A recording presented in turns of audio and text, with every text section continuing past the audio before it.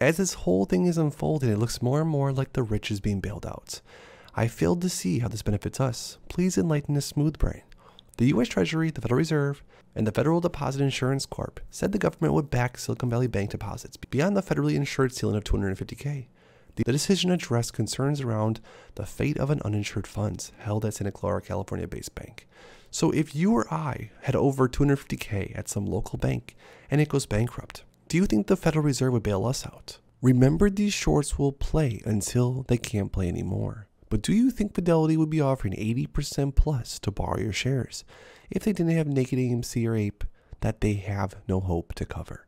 They want you to own your shares so that they can kill your stock. These brokerages are offering massive amounts to shareholders or offering them because there are so few AMC stocks available to lend out right now. The walls are closing in, we are close to the end. Hold on tight, apes. The AMC apes are the most passionate shareholders in the world. I agree.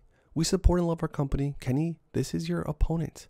And this ape said to CEO Adam Aron, we will support any merchandise NFTs you will sell us. We will do what it takes to make AMC the strongest powerhouse possible. So this is in regards to some Hycroft merchandise that's recently been sold.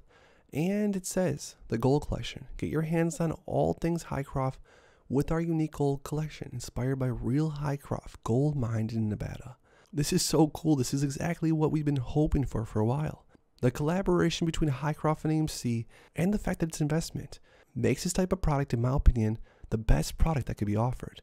And what do you know? It's already all sold out. AMC and APE, remember their intentions are to have us become discouraged and to sell.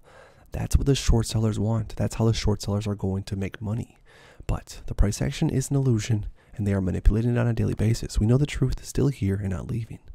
Comment down below if you're still in this play, or comment down below if you've had enough.